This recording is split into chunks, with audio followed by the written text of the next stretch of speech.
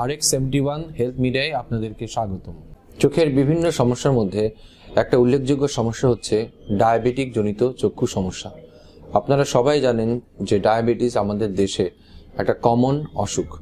এমন কোনো পরিবার নেই বা পরিবারের পরিচিত কেউ নেই যারা ডায়াবেটিসে আক্রান্ত নন।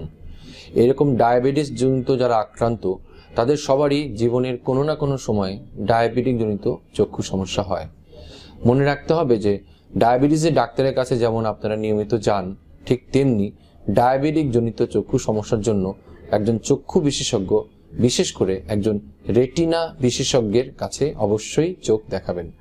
ডায়াবেটিস জনিত চক্ষু সমস্যার প্রধান সমস্যা হয় চোখের রেটিনায়। রেটিনা চোখের পেছনের একটি পর্দা। আমাদের ক্যামেরায় যেমন একটি লেন্স থাকে, চোখেরও একটা লেন্স আছে যেটাকে আমরা বলি ছানি। কিন্তু ক্যামেরায় যেমন আগেকার দিনের ক্যামেরায় একটা ফিল্ম থাকতো চোখের সেই ফিল্মও আছে, যেটাকে আমরা বলি রেটিনা। সেই রেটিনার ওপর আলো পড়লে সেই আলোটা আমরা দেখতে পারি। ডায়াবেটিস হলে সেই রেটিনার একটি সমস্যা হয়, যেটাকে আমরা বলি ডায়াবেটিক জনিত রেটিনার সমস্যা, যেটা ইংলিশে বলা হয় ডায়াবেটিক রেটিনোপ্যাথি। ডায়াবেটিক রেটিনোপ্যাথি এমন একটি সমস্যা, যেটা আপনাকে আস্তে আস্তে ব্যথাবিহীন অন্ধত্বের দিকে নিয়ে যাবে।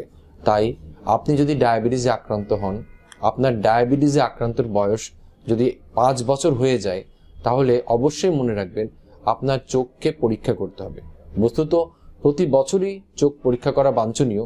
তারপরেও ডায়াবেটিস আক্রান্ত রোগীদের বলছি, অবশ্যই আপনি আপনার ডায়াবেটিসের কারণে চোখের কোনো সমস্যা আছে কিনা জেনে নেবেন। ডায়াবেটিসে চোখের যেমন সমস্যা আছে, তেমনি তার সমাধানও আছে। আমরা ডায়াবেটিক জনিত চোখের আধুনিক চিকিৎসা আমাদের দেশেই দিয়ে থাকছি। বিভিন্ন চিকিৎসার মধ্যে যেমন আছে লেজার চিকিৎসা, চোখের মধ্যে ইনজেকশন এমনকি খুব দেরি হয়ে গেলে বা বড় সমস্যা হলে অপারেশনও করা লাগতে পারে। তবে আসার বিষয় এই যে অন্যান্য উন্নত দেশের মতো আমাদের দেশেও আমরা ডায়াবেটিক জনিত চক্ষু সমস্যার আধুনিক চিকিৎসা আপনাদেরকে দিতে পারছি। সুস্থ থাকুন, ভালো থাকুন। R X seventy one health মিডিয়ার সাথেই থাকুন।